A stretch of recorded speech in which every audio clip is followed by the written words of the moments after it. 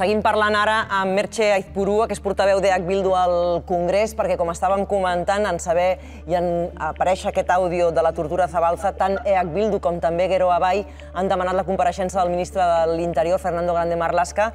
Bona tarda, Red Saldeón. Eh, Merche. Buena tarde. Eh, no sé si han tenido respuesta ya ustedes del, del gobierno español. Bueno, ayer tuvimos ocasión de hacerle un emplazamiento directo al presidente Sánchez eh, para decirle y para pedirle que reconociera la práctica de la tortura, la práctica sistemática de la tortura en este país eh, y que reconociera también el sufrimiento que toda la tortura ha causado durante tantos años en Euskal Herria, tantas familias. ¿no? no tuvimos respuesta directa, no hubo respuesta a la cuestión planteada, pero en cualquier caso eh, vamos a seguir planteando, de hecho ya lo hemos anunciado, vamos a pedir la comparecencia de la ministra de Defensa, la Margarita Robles, del jefe del Estado Mayor de la Guardia Civil y, del ministro del Interior, Marlasca. Creemos que deben de dar explicaciones al respecto después de toda de estos audios terroríficos que han salido, porque es verdad que aunque ahora se conociese y en Euskal Herria se tuviese la certeza y la seguridad de qué había pasado con Miquel y que había sido torturado y que había sido torturado hasta la muerte, es cierto que, todo esto eh, ha quedado impune. No hay absolutamente nadie condenado ni procesado por, este, por esta cuestión. ¿no?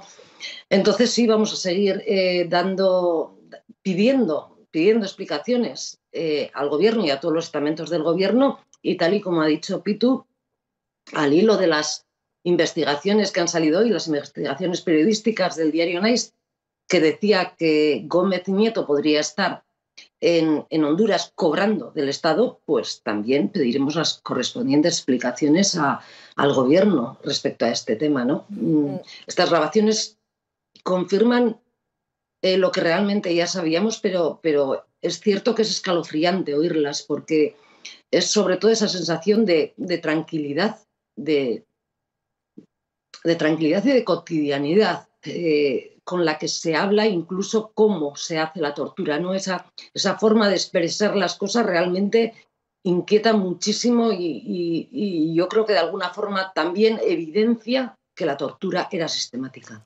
Eh, ¿Qué supone la publicación de estos audios también para la sociedad vasca que está intentando o cerrando las heridas del conflicto? Pues debería de suponer que el gobierno tomase cartas en el asunto, por fin, y que, que todo esto que todo esto tuviese repercusión y que tuviese medidas, que se tomaran medidas y que hubiese reparación para las víctimas, para tantas y tantas víctimas que, que, ha ocasionado la tortura. Son miles de personas las que han sido torturadas durante mucho tiempo en, las comisarías de, de Euskal Herria. Y, y, mientras esto no se haga, eh, yo creo que el gobierno tiene que dar pasos, el Estado tiene que dar pasos también para poder avanzar en la convivencia. Es lo que le, dijimos ayer a Sánchez, que se den pasos y que se den pasos también en este terreno, porque es necesario, totalmente necesario.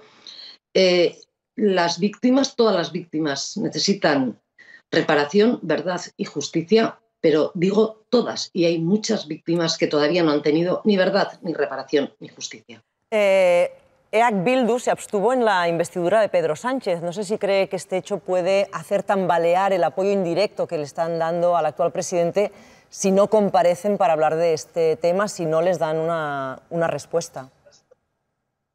Bueno, nosotros somos insistentes y, todas las intervenciones que hacemos las llevamos hacia un objetivo común que es, que es el de conseguir lo mejor para, para Euskal Herria, y, para ir avanzando también, también en el terreno de, de, la convivencia.